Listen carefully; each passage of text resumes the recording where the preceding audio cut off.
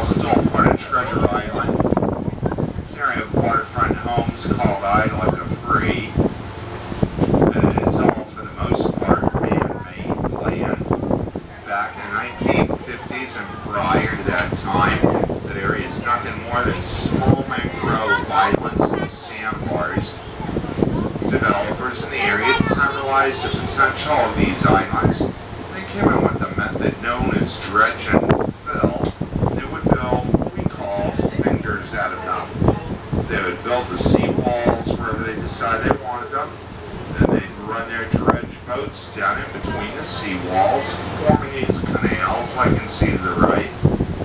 And at the same time, they'd pump all that dredge material all the around to the opposite side of the seawall, creating that waterfront property. Uh, back as late as 1970, you still could have bought an empty lot over there, of the little one-story ranch-style homes on it. Only have about 30000 invested in the whole thing. Today, though, the home values over in that neighborhood varies quite a bit.